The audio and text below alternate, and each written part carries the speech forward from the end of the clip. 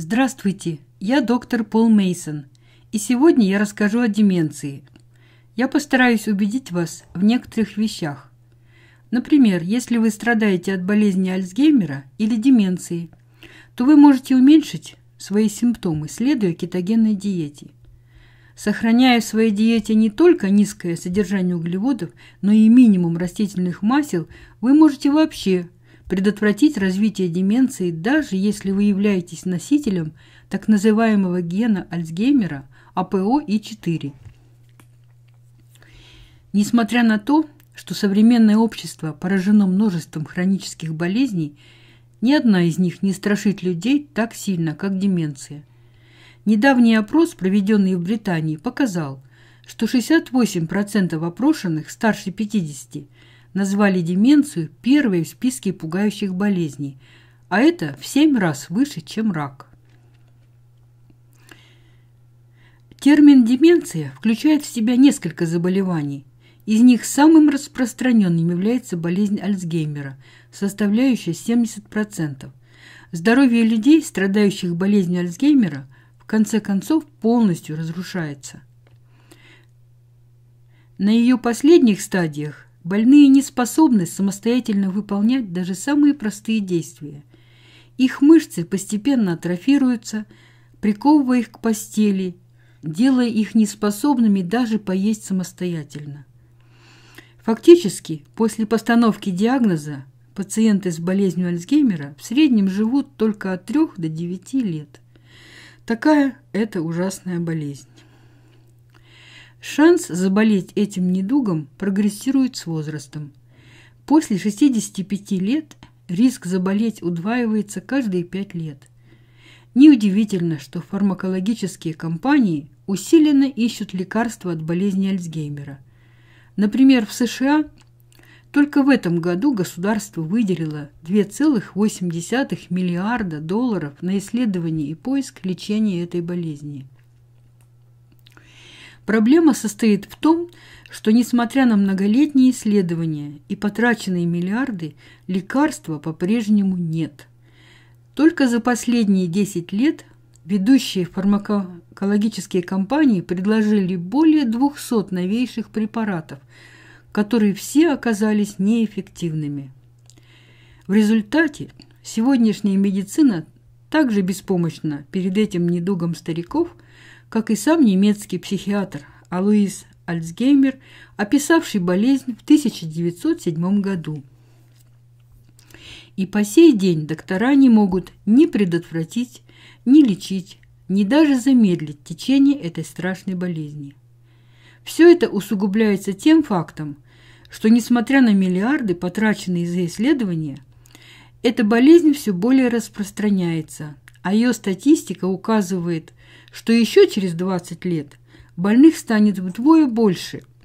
Например, только в Австралии количество больных достигнет миллиона уже в 2050 году. Однако искра надежды все же есть. Я уверен, что хотя болезнь и не поддалась лекарствам, но больным помогут некоторые изменения образа жизни. Хочу подчеркнуть, что болезнь Альцгеймера не неизбежна и не является частью нормального процесса старения. Она была исключительно редкой в древности. Первое письменное упоминание о ней относится к 1906 году. году. Скорее, это отклонение, вызванное современными условиями жизни. Поэтому и лечение заключается не столько в таблетках, как в том, что лежит у нас на тарелке – потому что именно еда оказывает огромное влияние на метаболическое здоровье. А болезнь Альцгеймера, несомненно, является метаболическим заболеванием мозга. Причина того, что наш мозг чувствителен к метаболическим воздействиям, кроется в том, что мозг, составляющий всего 2% объема тела, потребляет более 20% его энергии. Заболевание, олицетворяющее собой наихудшее метаболическое здоровье, это диабет второго типа. Наиболее тяжелые последствия диабета второго типа такие как болезнь сердца и почечная недостаточность, являются прямым результатом повышенного уровня как глюкозы, так и инсулина в крови, той самой крови, которая циркулирует также и в сосудах головного мозга. По этой причине болезнь Альцгеймера все чаще называют диабетом третьего типа. И действительно, риск заболеть болезнью Альцгеймера у диабетиков второго типа повышается от 2 до 5 раз. При этом сильнее страдают больные с наиболее застарелым диабетом, а также те, кто не смог контролировать основные симптомы. При этом диабет не единственное метаболическое состояние, ассоциированное с болезнью Альцгеймера. Другим опасным метаболическим состоянием является ожирение. Например, в ходе данного исследования у 78 пациентов регулярно измеряли окружность талии в течение более 30 лет. Исследователи обнаружили значительное повышение риска болезни Альцгеймера по мере набора веса. Он повысился втрое у пациентов с наибольшим увеличением окружности талии по сравнению с рисками худых участников. Несколько исследований убедительно показали четкую связь между степенью ожирения и уменьшением размеров мозга. Причем не только у пожилых людей, но и у 40-летних. Возникает вопрос, если болезнь Альцгеймера обусловлена метаболическим заболеванием мозга, можем ли мы избежать самого метаболического заболевания? Ответ – да. Низкоуглеводная диета с низким содержанием растительных масел играет ключевую роль. Мы уже знаем, что диабет второго типа – типичное метаболическое заболевание. Данное крупномасштабное исследование продемонстрировало излечение пациентов от диабета второго типа с помощью низкоуглеводных диет.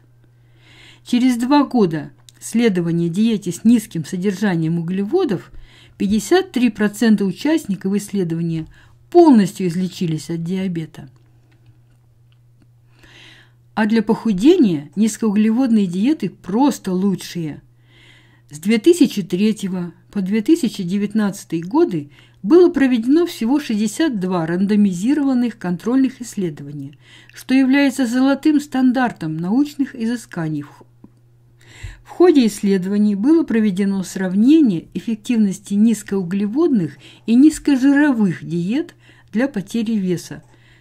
31 из этих исследований показало значительный статистический результат – в этот график я включил все 31 исследование, без исключений. Голубые столбики показывают потерю веса на низкоуглеводных диетах.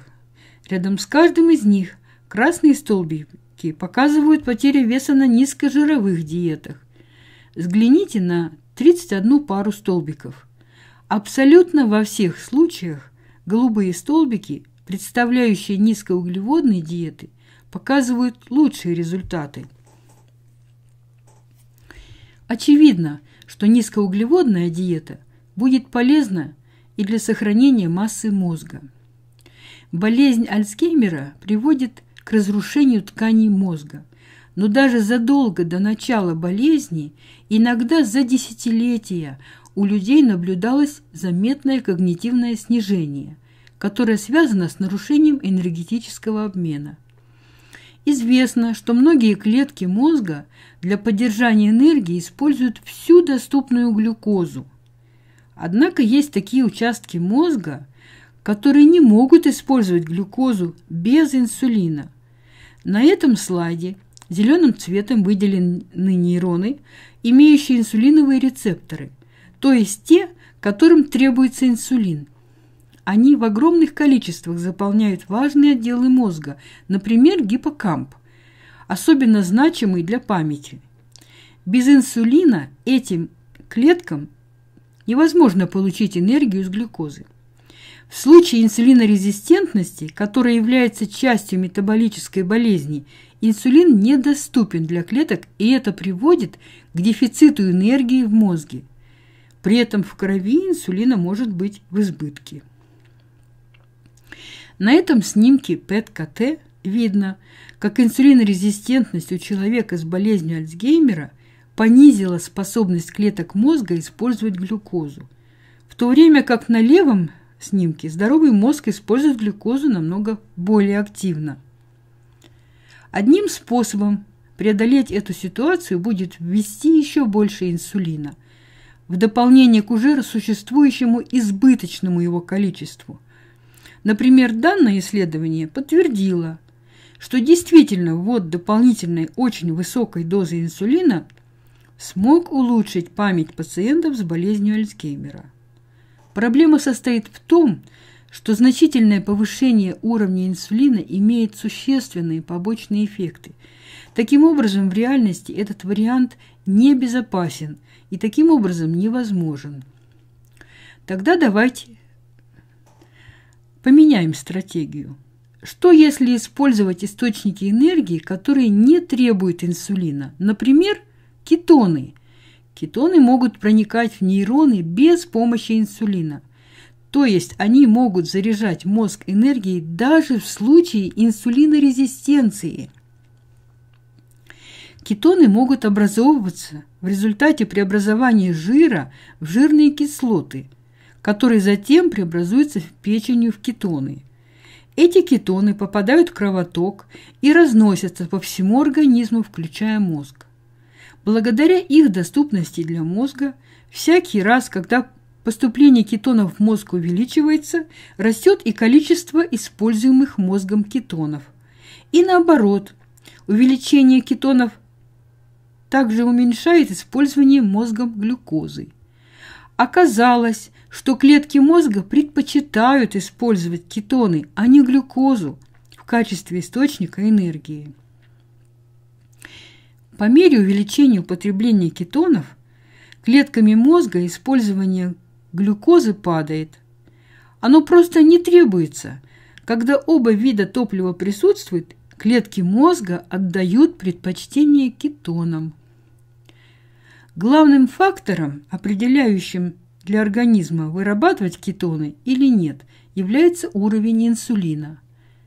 Когда мы понимаем, Насколько больше инсулина вырабатывается в ответ на потребление углеводов, чем на потребление белков и жиров, то нам становится ясно, что питание с низким содержанием углеводов также является кетогенным, то есть в нашей крови будет циркулировать множество кетонов.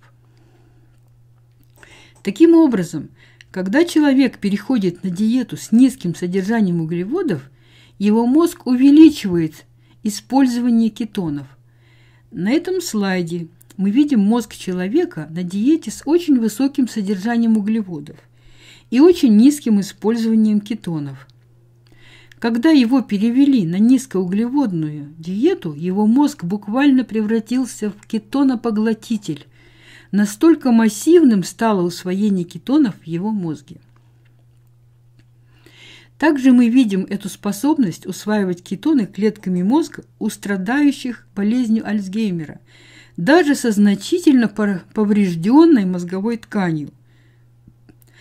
Как мы уже видели, здоровый мозг способен вполне нормально функционировать, используя глюкозу. Но мозг, пораженный болезнью Альцгеймера, на нижнем изображении не может. Мы видим снижение способности к усвоению глюкозы – Зеленый цвет показывает пониженную активность. Но когда в крови появляются кетоны, картина совершенно меняется. Мозг с болезнью Альцгеймера даже более эффективен в поглощении кетонов, чем мозг на контрольном изображении сверху. Это приобретает смысл, если учитывать нарушение метаболизма глюкозы в мозге с болезнью Альцгеймера. Недавнее исследование продемонстрировало явную пользу кетогенной диеты для мозговой активности тех, кто подвержен риску развития болезни Альцгеймера.